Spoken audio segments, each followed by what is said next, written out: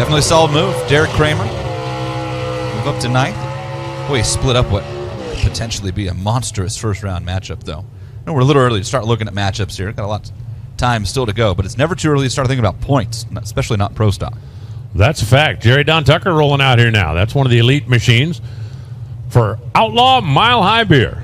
I do love the fact that there are more and more breweries getting involved in drag racing because, you know, they, they, they, they seem to believe that offering samples to the announcers is a good way to get your name out there, and turns out it is. Wow. Who would have thunk it?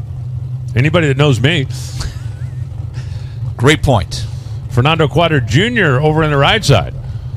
One of the fleet of quadromobiles, or Corral Boots, which is the family business. We saw David up in his top sportsman car a little bit ago. It's like the youngest brother with the fastest car. Fernando Jr. currently sitting in the number 13 spot. Jerry Tucker currently sitting in the number 11 spot. They're separated by less than a hundredth of a second. The spread between Erica and Camrie, that's one and two, that's two hundredths of a second. Now, the spread between Camrie and Matt Hartford, who's number eight, is also two hundredths of a second. I think Erica's just being a show off right now. Four hundredths of a second from number two to number 14. Four hundredths. Well, we just saw an improvement of one hundredths. We're three spots.